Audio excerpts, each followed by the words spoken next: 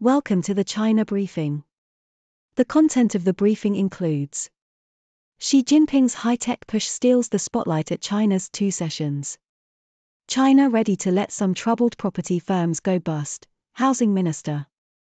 Philippines' new playbook is a threat to South China Sea peace.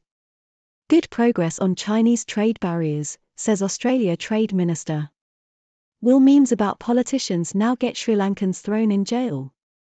Xi Jinping's high-tech push steals the spotlight at China's two sessions. South China Morning Post. China's biggest political gathering of the year, the annual sessions of the National People's Congress, NPC, and the Chinese People's Political Consultative Conference, CPPCC, has focused on President Xi Jinping's push for homegrown technology. Xi has called on Chinese scientists and military representatives to enhance the country's strategic capabilities in emerging areas, urging them to integrate high tech developments into their work. The comments are seen as the most prominent policy direction to come out of the two sessions so far, as Premier Li Qiang has scaled back his office's role in diplomacy and public discourse. China ready to let some troubled property firms go bust, Housing Minister. South China Morning Post. China's Housing Minister, Ni Hong, has said that Beijing will aim to stabilize the country's property market while allowing some troubled developers to go bankrupt or be restructured. China's property sector has been grappling with a liquidity crisis since mid 2021, with major developers defaulting on or delaying debt payments following a regulatory crackdown on high leverage.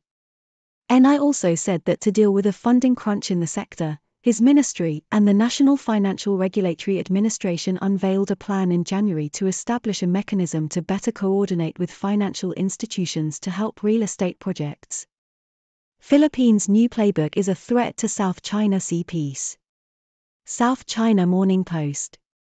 The Philippines is using a new playbook for the South China Sea, following China and Vietnam by subsidizing its fishermen to be at the forefront of gray zone operations at sea.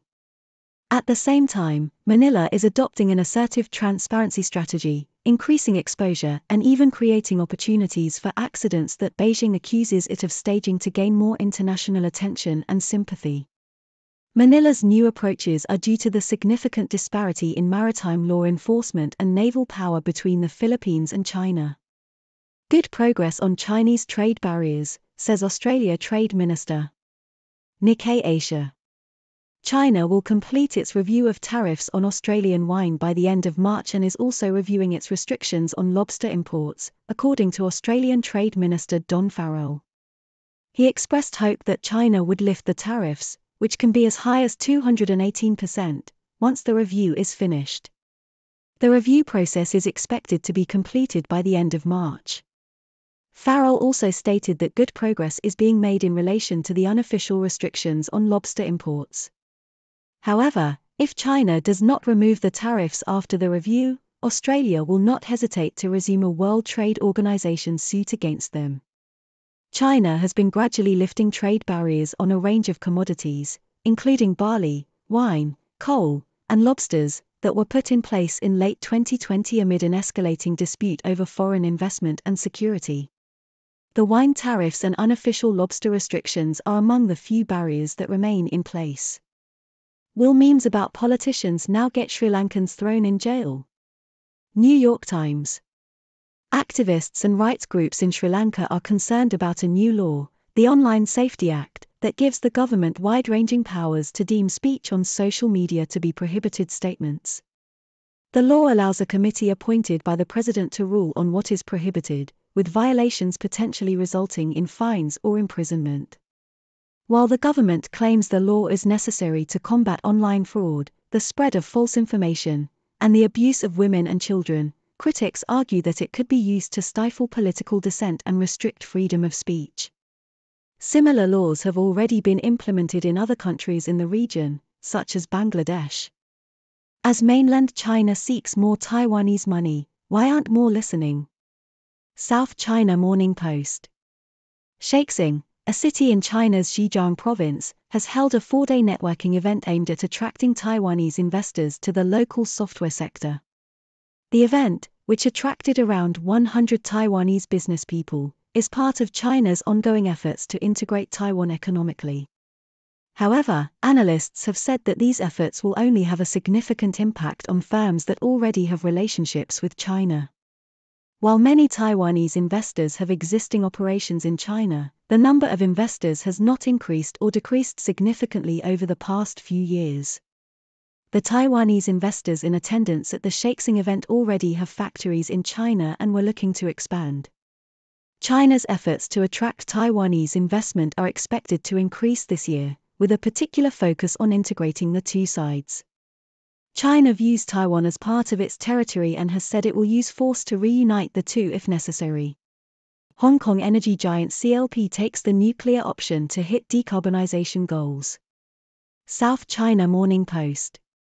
CLP Holdings, Hong Kong's second largest power supplier, plans to import more nuclear power from the mainland in a bid to reduce its greenhouse gas emissions by 2030. The utility company is looking to increase its share of clean energy and is exploring alternative sources from China's Guangdong province. CLP Holdings has also revealed plans to increase its renewable energy asset portfolio in mainland China and India.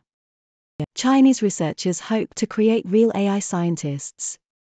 South China Morning Post.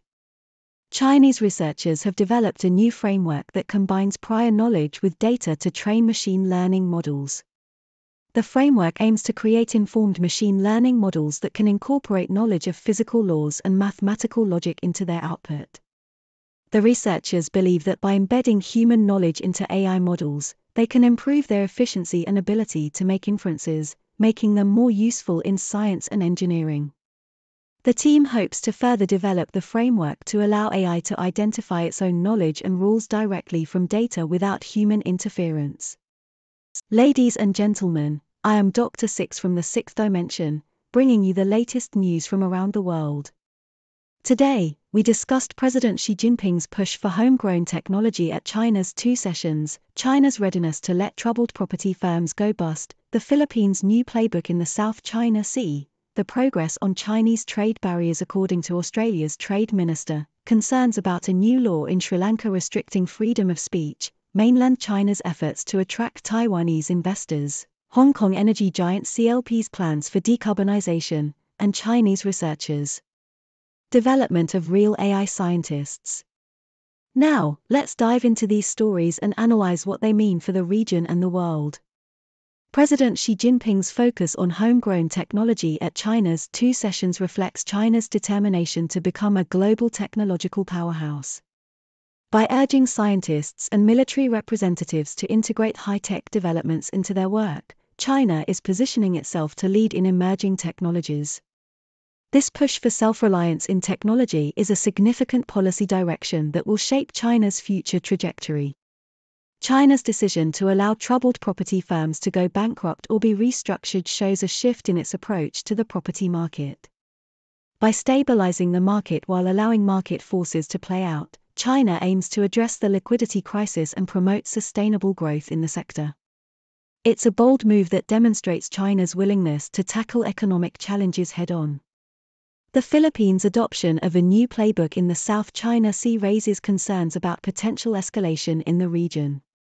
By subsidizing its fishermen and employing an assertive transparency strategy, the Philippines is signaling its resolve to protect its interests in disputed waters.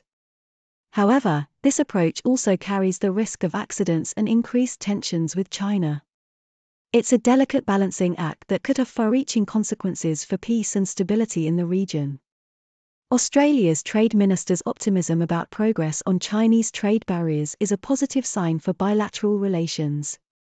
The completion of the review of tariffs on Australian wine by the end of March and the potential lifting of restrictions on lobster imports could signal a thaw in the trade dispute between the two countries. However, if China does not remove the tariffs, Australia is prepared to take further action. This ongoing trade issue highlights the importance of open dialogue and negotiation in resolving disputes. The introduction of a new law in Sri Lanka that restricts speech on social media raises concerns about freedom of expression and political dissent. While the government claims the law is aimed at combating online fraud and false information, critics argue it could be used to stifle dissent and curtail civil liberties. Similar laws in neighboring countries have already raised alarms about the erosion of democratic values. It's a reminder of the delicate balance between security and individual rights in the digital age. China's efforts to attract Taiwanese investors highlight its desire to integrate Taiwan economically. However, these efforts may not have a significant impact on firms that already have relationships with China. The number of Taiwanese investors has remained relatively stable in recent years, suggesting that deeper integration may require more than just economic incentives.